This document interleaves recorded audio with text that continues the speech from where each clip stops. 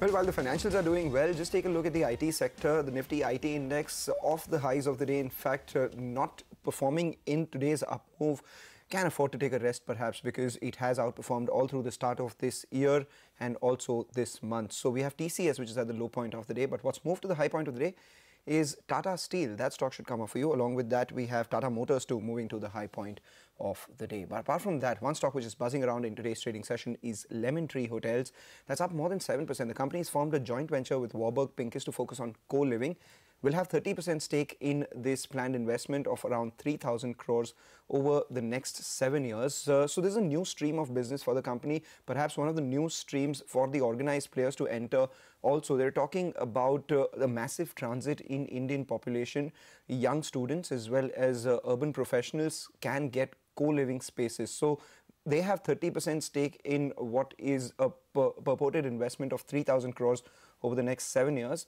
They expect 100,000 rooms to be added over the next seven years. Most importantly, by the end of the first year, they will be working on close to around 2,000 rooms and get the internal business model right, working on two models. One, start their own business, start their own buildings, construct their own buildings, or go the capital light way, buy some distressed real estate assets in a sense, working on 14 to 15% yields. In fact, this morning we spoke with Mr. Patanjali Keswani of Lemon Tree Hotels, and here's what he had to say.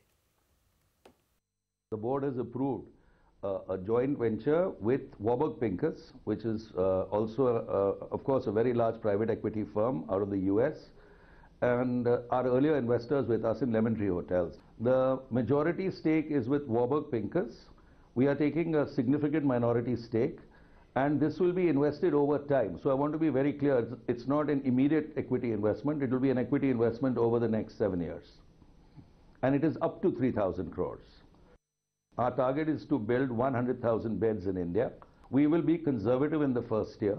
So my estimate is that I don't want to, you know, uh, talk about 10,000 beds or 20,000 beds. Maybe we will only do 2,000 beds. We will make sure that we iterate this in such a way that the business model gives us a minimum yield of 14 or 15 percent.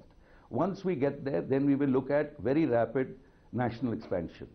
Okay, all right. Fair bit of action from the broader markets. Bombay Burma is a stock we're looking at that's moving higher and it's moving higher very, very rapidly. So pull up the intraday chart. Bombay Burma moves to the high point of the day. That's the one that holds the stake in Britannia, right? Let's pull usually, up Britannia. Usually it moves when Britannia is moving higher, but today it's moving without Britannia moving higher. So let's see what happens. Yeah, it looks like, yeah. Oh, okay, actually, in fact, 1%. Britannia as well has moved to the high point of the day and Bombay Burma is actually, Bombay Burma is running faster than Britannia today. so uh, Britannia is up a percent. Bombay Burma has a big stake in Britannia. That's up close to around 3.5% odd. We'll slip into a short break. You come back, we'll focus some macro data this as the November, uh, April to November fiscal deficit number has come in at more than $100 billion. More on that when we return.